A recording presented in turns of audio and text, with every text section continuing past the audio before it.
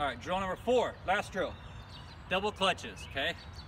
So you can have a ball or you not, not have a ball, doesn't matter.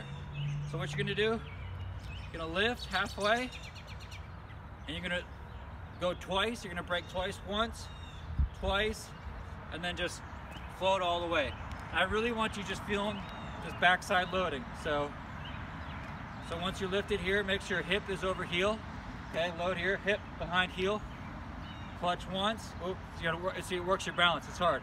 Clutch once, twice, feel this backside loaded, once, twice, and then work in, okay? Once you get that, do that five times, and you can throw with it, okay? So it'll be once, oh, we got a biker. Hey, there goes the biker, all right. So we go once, oh, here we go, I need practice too. Once, twice, sit, throw.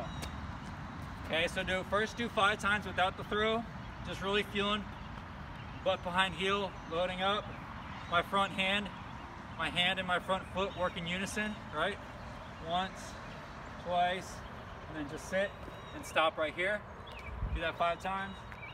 Once, twice, sit, and then throw. Okay? And you'll really feel after doing these drills, like the first circle one, and the javelin throw, you're really gonna feel your hips bringing your arm around. So really feel that wave of energy through your body, right here, two, and then feel that wave of energy from my hips, hips, chest, into my arm, okay? That's number four.